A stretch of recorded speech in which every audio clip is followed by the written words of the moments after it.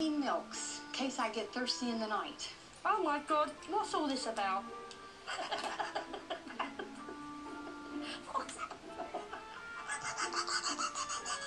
and one should also have their coffee cups upside down.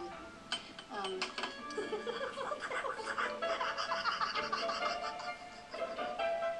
With all